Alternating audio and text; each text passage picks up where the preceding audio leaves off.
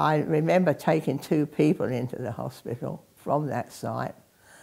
And when I got into the car park of the hospital, the car park fellow says, uh, will you draw up there because we've had a word about what's in, you've got in your ambulance from the people off of the site.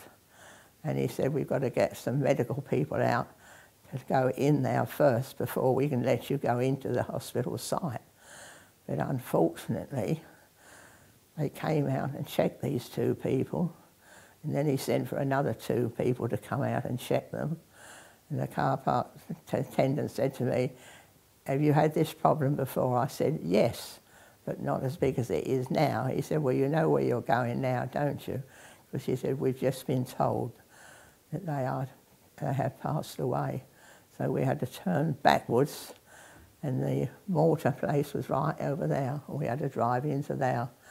And they came in and took them out. We didn't do it so, and empty the... But that was a real nasty night, actually. But there it is. It was one of our jobs.